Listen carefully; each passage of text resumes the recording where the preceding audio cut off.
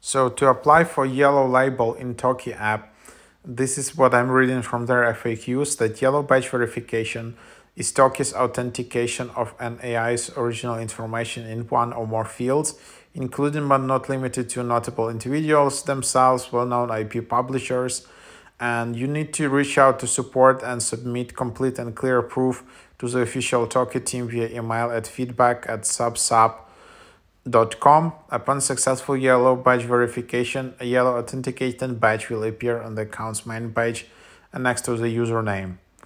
So yeah, that's how you can apply. And then I don't know if your bots will have that.